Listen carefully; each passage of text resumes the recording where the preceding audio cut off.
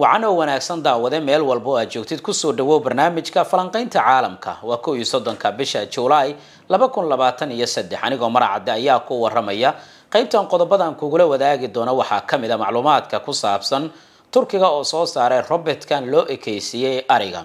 Awood intee la eg ayuu leeyahay robertkan muxuu qaban karaa? Waxaan eegi doonaa macluumaad ku saabsan robertkan turkiga uu soo saaray ee isla arigaba loogu magac daray waxaa kaloo aan eegi doonaa lixdan sano kadib sidee bariga dhexe u ekaan doonaa? Waa maxay dadaalka erdogan iyo waddamada kale ee shiinaha iyo ruushkaba ay wadaan ee ay doonayaan inay ku soo saaraan bariga dhexada cusub? Macluumaad arrintaasi ku saabsan ayaan eegi doonaa. Wararkii ugu dambeeya askarta dowladda masar laga dilay kadib weerar ka dhacay gacanka sinai. Waxaa kaloo aan falanqeyn doonaa wararkii ugu dambeeya africa iyo macluumaadii kale. Soo dhawaada mar kale ka mid noqon saaxiibadeenna. Aad baad u mahadsan tahay warshadaha difaaca ee dowladda turkiga ayaa soo saaray robertkan waxaa loogu magacdaray keji. Luqadda turkiga marka la joogo ereyga keji waxa uu la micno yahay ari. Robertkana waxaa loo ekeysiiya sida neef ari ah oo kale. Sifooyinka ayaabka badan ee robertka keji uu leeyahay waxaa ka mid ah in lagu xiray kaamirad saddex boqol iyo lixdan digrii wareegi karta wuxuu kaydin karaa sawirada wuxuu qaadi karaa muuqaalo sidoo kale macluumaadka sida ugu dhaqsiyaha badan ayuu u gudbin karaa xarunta laga maamulo iyadoo la isticmaalayo systemka ama nidaamka atog loo yaqaano. Sifooyinka kale ee gaarka uu leeyahay robertkan ayaa waxay tahay in hal qof uu xakameyn karo sidoo kalena ay maamuli karaan dad aada u tiro badan. Inta aanan macluumaadkiisa eegin aan waxyar robertkan annagaba tijaabino bal fariiso robert si aan u ogaano culeyska aad qaadi karto. Awe soo ful adiga. Okay dalac okay waan dareen inaad qaadi karto waan ku aragnay. Bal hoos u dhig aan aragnay. Adigana ka deg. Naga hubiya waxaan may bombala okay waa qof bini aadam ah oo ka degtay. Yacni wuxuu muujinayaa inta waa iska kaftan tijaabadii markii la sameynaya ayaa sidan lagu soo bandhigay dad aada u tiro badan oo goobjoog ka ahaa munaasabadan maadaama dalal badan ay ka socdaan. Si looga iibiyo waxa uu qaadi karo xajmiga uu leeyahay robertkan ayaana gabadha loo saaray kadibna laga dejiyey bandhiga warshadaha difaaca ee magaalada istanbul oo ay ku sugnaayeen mas'uuliyiin aada u tiro badan maadaama marar badan diyaarado dagaal gantaalo iyo waxyaabo turkiga uu soo saaray lagu soo bandhigay. Shalay waa uu ka duwanaa oo waxaa lagu soo bandhigay robertkan oo ay isticmaali doonaan ciidamada ammaanka ee dowladda turkiga. Fikradan hadda ma aysan soo bilaaban oo turkiga mar hore ayuu ku fekeraya arrintan waxaana lagu waramayaa robertkan in loo isticmaali karo ama uu ku shaqeeyo waxa loo yaqaano artificial intelligence ama a i ama waxa loo yaqaano caqliga macmalka ah waxaana si gaar ahaaneed loogu isticmaali karayaa dhowr shaqo inuu qabto. Waxaa ka mid a in miinooyinka ama qaraxyada uu ku aaso buuraha iyo meelaha kale. Waxaa kaloo ciyaari karaa door kale oo muhiim ah. Howlgallo ayuu ka fulin karaa dhulka ama goobaha ay aadka u adag tahay inay ciidamada ammaanka ee lugta ay galaan. Waxaa kaloo uu isticmaal loo isticmaali karaa robertkan howlaha sahminta maadaama camera ay ku xiran tahay waxaa loo naqshadeeyay juquraafi ahaan inuu ku shaqeeyo gudaha dalka turkiga.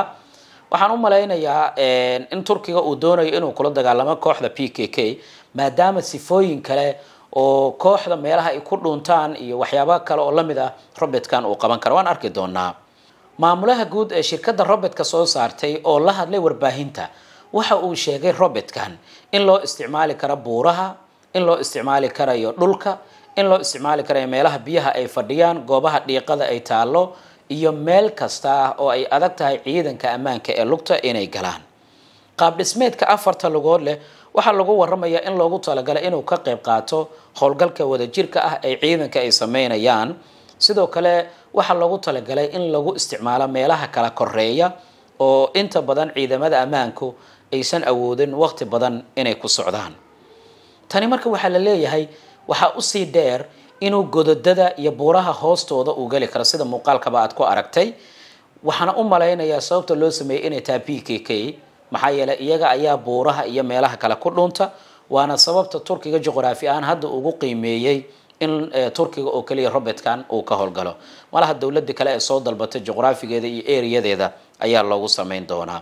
Tijaabadii lagu sameeyey ayaa si guula ku soo dhammaatay bilowgii haddii aad xasuusataa markii gabadha ay raacaysay robertkan ujeedada laga lahaa waxay tahay inta culeys uu qaadi karo. Waxaa la sheegay siddeetan kilogram inuu robertkan uu qaadi karo taasoo micnaheeda ay tahay haddii miino dusha loo saaray inuu meel kala geyn karo inay xitaa ciidanka u isticmaali karaan inay waxyaabaha fudfudud ee isku dhaafsadaan marka ay furumaha ama kaymaha ay joogaan. Waxaa kaloo lagu waramayaa in robotkan uu awoodu u leeyahay in uu videoyo ama muuqaalo uu ka dubo buuraha hoostooda xitaa haddii ay mugdi yihiin. Maamulaha shirkadda robotka soo saartay waxaa kaloo uu yidhi marka cutubka ciidankeenna uu yimaado aagga ama zoonka loogu talagalay robotku waxa uu raaci doonaa amarada la siiyo. Waxaana uu aadi doonaa meesha loo baahdo ee lagu amro. Waxaana uu samayn karaa sahmin miina dhigis iyo duugis. Sidoo kale waxa uu qaadi karaa shixnad walba oo la doonayo in ciidan kale la gaarsiiyo haddii dusha loo saaro. Shixnadaas oo gaaraysa ilaa iyo siddeetan kilogram. Maamulaha guud ee shirkadda robotka soo saartay ayaa sidaasi u sheegay dadkii goobjooga ka ahaa munaasabada lagu soo bandhigayay oo ka dhacday magaalada istanbul. Maxaad ku dari lahayd? Qaybta hoos aragtidaada ku reeb aad baad u mahadsan tahay. Barnaamijka falanqaynta siyaasadda caalamka ayaad weli ka daawanaysaa maracadda show. Markaan aan eegno wararka ugu waaweyn africa warbaahinta masar ayaa baahisay macluumaadka ku saabsan in mid ka mid a saraakiisha ciidanka booliiska la dilay ilaa ku dhowaad laba kalena dhaawacyo ay soo gaareen kadib markii koox hubaysan weerar ay ku qaadeen deegaan lagu magacaabo al caarish deegaankan waxa uu ka tirsan yahay gacanka sinai oo dowladda masar gacanta ay ku hayso waana waqooyiga gacanka. Waxaa lagu waramayaa ciidanka ammaanka xarun weyn ay ku laayeen deegaankan in koox hubaysan ay weerareen ma jiro macluumaadyo kale oo dheeraada laakiin kooxda weerarka geysatay ayaa lagu waramayaa inay sidoo kale iska cabin ay kala kulmeen ciidankii booliiska ahaa ee ilaalada gaarka ah ee ku sugnaa waqooyiga gacanka sinai. Dowladda ayaa sheegtay inay baaritaan ku sameyn doonto weerarkan ay cidda soo qaaday. Waxay dhacdadu ku soo beegmaysaa iyadoo bishii hore bilowgeedii askari ka tirsan ciidanka booliiska ee dowladda masar uu weeraray goob ay ku sugnaayeen ciidanka israa'iil. Sidoo kalena halkaas lagu dilay saraakiil ka tirsan ciidamada israa'iil mas'uuliyiinta dowladda waxaa kaloo ay baahiyeen xogta ku saabsan in xubnaha dhaawaca la dhigay cisbitaalka ciidanka militariga ay leeyihiin ee deegaanka alcaarish ku yaalla madaxweynaha ku-meel gaarka ee dowladda jad idris dayby waxa uu ka degay magaalada naimi ee caasimada dalka niger. Ujeedadu waxay tahay inuu dhexdhexaadiyo ciidankii afgambiga militari ku qabsaday dalkaasi iyo madaxweynihii xilka laga eriyey ama xabsiga kumeel ama xabsiga ugu jira ciidanka iyo saraakiisha militariga ee dowladda niger arrintu waxay ku soo beegmaysaa kadib markii ninkan uu la kulmay saraakiil ka tirsan kuwa afgambiga sameeya ee loo yaqaano junta waxaa kaloo uu la kulmay xubno ka tirsan ururka ecowas la yiraahdo ay ku bohobeen waddamada qaaradda africa ee dhanka dhaqaalaha waxaana lagu waramayaa inuu kala hadlay arrimo ay ka mid yihiin go'aankii ecowas ay qaadatay in dib looga laabto maadaama ay sheegeen inay joojiyeen gargaarkii iyo taageeradii tooska ah oo niger ay siin jireen. Madaxweynihii hore ee dalka nigeria ayaa ka mid ah xubnaha dhexdhexaadinta wada oo doonaya inay heshiis kale dhex dhigaan xubnaha militariga ee afgambiga ku qabsaday dalkaasi iyo sidoo kale madaxweynihii xilka laga eriyay. Waxay arrintu ku soo beegmaysaa xilli maalintii shalay banaanbaxyo waaweyn ay ka dhaceen magaalada caasimada ah iyadoo dadka ay calamada ruushka ay la soo baxeen kuna dhawaaqayeen erayo ay ka mid ahayn ruushka ha noolaado faransiiska ha dhaco. Wararkaas ayaa hadda ugu waaweyn guud ahaan marka la eego africa marka laga yimaado xaaladaha guud ee siyaasadeed haddana nigeria aan iraahde niger iyo masar labada dhacdo ee aadka u taagan ee warbaahinta ay hadal hayso ayaynu soo qaadanay. Markaan waxaan eegaynaa macluumaadka ku saabsan bariga dhexe isbeddel weyn ayaa ka soconaya. Socdaalkii madaxweyne erdogan dhowaan uu ku tegay dalalka qaliijkana waxaa warbaahintii caalamka gaar ahaan kuwa reer galbeedka ay ahayn kuwa indhaha ay ku hayeen oo falanqeyno iyo macluumaadyo gooni ah ay ka daabaceen. Haddaba lixdan sano kadib qaab noocee ah ayuu u ekaan doonaa bariga dhexeda cusub. Shaki kama taagna in bariga dhexe uu yahay meesha ugu xasaasisan caalamka waqti xaadirkan gaar ahaan wixii ka dambeeyey sannadkii iyo sideedii markaasoo lagu soo dhex beeray israa'iil qaatayna dhulkii reer falastiin iyo dhulalka kale ee waddamada carabta ee ku hareereysnaa wixii markaasi ka dambeeya bariga dhexe wuxuu noqday gobol isla karkaraya oo joogto u noqday dagaallo iyo ismariwaa siyaasadeed.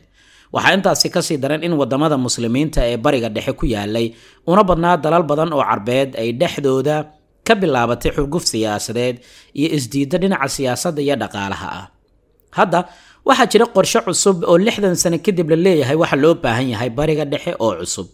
Waa midda keentay madaxweyne erdogan booqasho inuu ku tago waddamada bariga dhexe gaar ahaana kuwa carabta uuna doortay dalalka khaliijka oo uu doonayo inay isku soo dhowaadaan dalalka khaliijka turkiga iyo sidoo kale masar. Waana midda keentay in maraykanka dib uu u fiiriyo dalalka bariga dhexe isbeddelka xooggan ee ka soconaya waana midda keentay in shiinaha iyo ruushka ilgaar ahaaneed ay u lahaadaan xulufada ay ku leeyihiin dalalka bariga dhexe inkastoo aysan u xooganeen sida kuwa reer galbeedka ay ku leeyihiin dalalka khaliijka waxaa dhammaaday sannadihii kala qoqobsanaanta waxaana bilaabanaya sannadihii iscaawinta waxaa la gaaray xilligii ay carabta iyo turkiga isqaadan lahaayeen horena loo socon lahaa.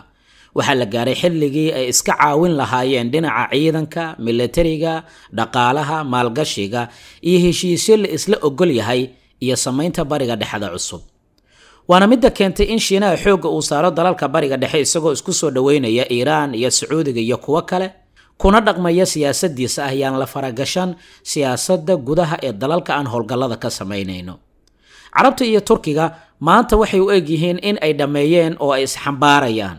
Waxaa bilowday booqashooyin iyo isu soo dhowaan khaliijka oo raalli ah iyo qaahiro oo soo dhoweynaysa turkiga waxaa muuqatay in erdogan uu bedelay shaxdiisii hore waxayna u eg tahay in carabta ay mar kale ay dib ay u galayaan dhulka turkiga oo ay maalgashan doonaan.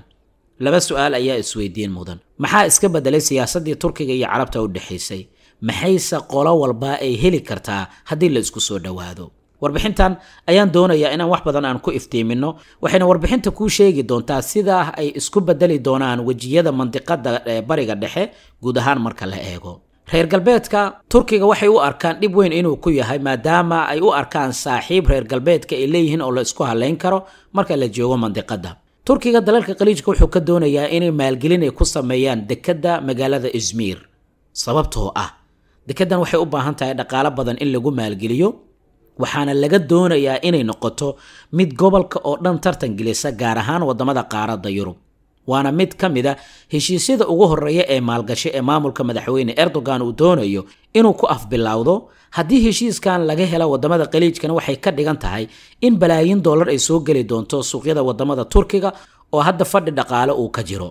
Dalalka khaliijka iyagaba way ogyihiin dekedan haddii la dhiso saameynta ay ku yeelan doonto waa dekeda magaalada izmiire oo maalgelin xoogan uu lagu sameeyo. Sababta izmiir u doortayna waxay tahay xubnaha mucaaradka ah. Inta badan waxay ku badan yihiin gobolkan waxaana uu doonayaa inuu dad badanna uu ka helo oo taageerayaal u ah xisbigiisa sidoo kalena maalgelintaas ay dhaqaalo badan u abuurto dalka turkiga.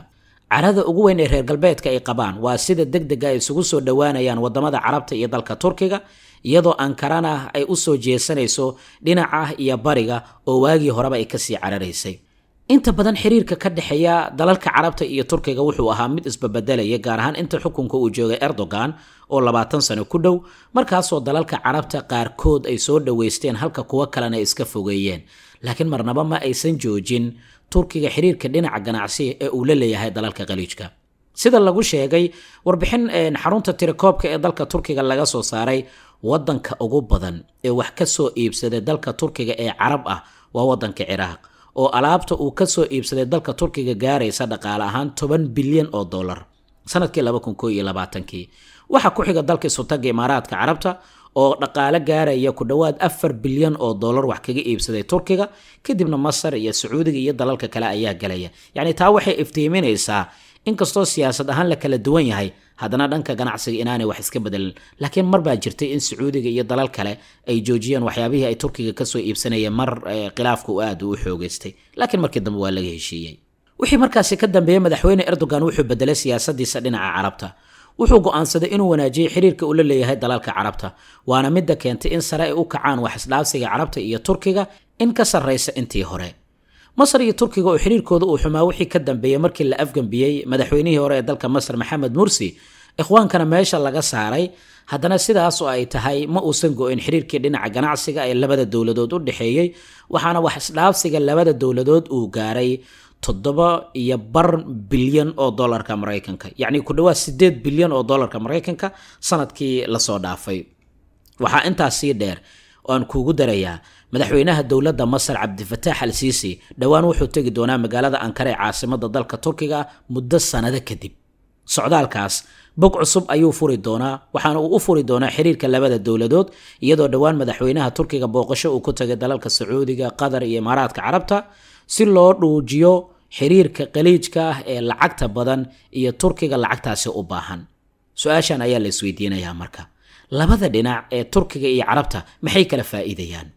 Marka aan fiirino wax soo saarka dhinaca hubka iyo ciidanka ee dalka turkiga sanadihii ugu dambeeyey cidda ugu badan ee wax ka iibsata waxay ahaayeen qaliijka gaar ahaana dhinaca diyaaradaha aan duuliyaha lahayn ee droniska loo yaqaano. Sida muuqatana suuqaasi waa la sii kordhin doonaa. Dowladda turkiga waxay warshado ka furan doontaa qaar ka mida dalalka qaliijka si gaar ahaaneed imaaraadka carabta si ay ugu soo dhowaato macaamiisheeda qaliijka dhinaca ankara waxay doonayaan marka in dhinaca khibradda iska kaashadaan dalalka qaliijka iyo turkiga gaar ahaana dhinaca dhaqaalaha oo ankara hadda ay baahi badan u qabto. Gaar ahaan imaaraadka carabta oo turkiyaanka ay u arkaan in dowladdaasi ay tahay dowlad ku guulaysatay inay abuurto meelo badan oo ay daqligii ka soo galaan marka laga soo tago naftada oo waddamada imaaraadka carabta iyo dalal kale oo qaliijkaba hodan ay ku yihiin waxaa kale oo qaliijka u muuqda in inkastoo turkiga horumar ay samaynayaan inay haddana ay u baahan yihiin inay maalgashi xoog leh lagu sameeyo gudaha dalka turkiga oo dhaqaale la'aan ay ka muuqato. Haddii la sii maalgashan lahaana ay intaan iyo ka badan horumaro badan ay samayn lahaayeen turkiyaanka. Qaliijka waxay isu arkaan inay mashaakilka dhinaca dhaqaalaha haysta dalka turkiga ay xallin karaan laakiin loo ogolaado inay qeyb ay ka noqdaan horumarka dalka turkiga waxaa intaas sii dheer inay galbeedka indhaha ay ku wada taagayaan bariga dhexeda cusub ee socda oo wadada xasiloonida iyo isfahamka cagta saaray maadaama markii hore la kala qoqobayay fallaarna dhexdooda ay ku jirto oo labada dhinacba af ka lahayd halka galbeedkaay cagta sii saarayaan wadadii welwelka iyo inay dagaalka qarka isku saaran yihiin bariga dhexeda cusub ee sameysmaya ayaa aad isha loogu hayaa iyadoo isbiirsanayaan khibradaha sanadaha ah ee labada dhinac tiiyo oo ay dheer tahay maalgelin xoog leh. Haddaba ma waxaan markhaati u noqon doonnaa yurub cusub oo ka duwan midii aan naqaanay oo bariga dhexe ka samaysanta oo way isfahmi doonaan dalalka bariga dhexe ee dhexdooda lagu wada jiro. Waqtiga ayaa jawaabta inoo sheegi doona. Maxaad ku dari lahayd? Qaybta hoos aragtidaada ku reeb waa hagaag. Guud ahaan falanqayntii qaybtan waa naginta anigoo marcadda ayaa ku warramaya falanqayntan la mid intaan ku kulmi doona nabadgelyo